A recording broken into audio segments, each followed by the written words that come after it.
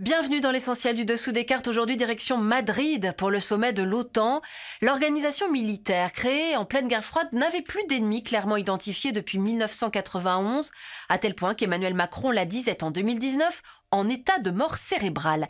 Les 30 États membres vont passer deux jours à valider leur nouveau concept stratégique, constater que la guerre en Ukraine soude la famille otanienne, réunie par la même menace, Vladimir Poutine, avec deux nouveaux membres qui frappent à la porte, la Suède et la Finlande, sauf qu'il y a un élément perturbateur, Recep Tayyip Erdogan, sortons nos cartes. La Turquie est membre de l'Alliance Atlantique depuis 1952, mais n'en a pas toujours respecté les règles. Comme en 2019, lorsqu'Ankara avait fait l'acquisition du système antimissile russe S-400.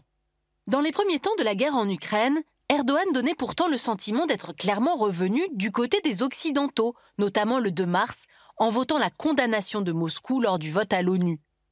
Auparavant, le 28 février, il avait interdit le passage de ces détroits du Bosphore et des Dardanelles aux navires de guerre russes, mais désormais, la Turquie d'Erdogan joue un tout autre jeu, notamment sur la question de l'adhésion à l'OTAN de la Suède et de la Finlande, à laquelle Ankara s'oppose Motif, ces deux pays soutiendraient l'ennemi juré d'Erdogan, les Kurdes.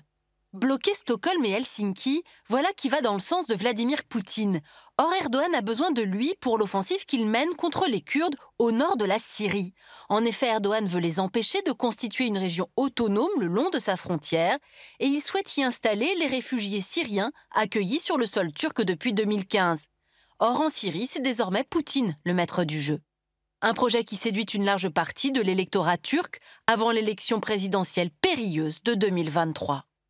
C'est donc au moment où elle retrouve une raison d'être et une unité évidente que l'Alliance atlantique se souvient qu'elle accueille également en son sein un élément perturbateur, la Turquie d'Erdogan, lequel est un spécialiste du double jeu et du double positionnement géographique entre Orient et Occident. Erdogan n'a aucune envie de choisir son camp, affectionnant les thèses de la désoccidentalisation du monde et d'une Eurasie en plein essor où il aurait à jouer un rôle clé.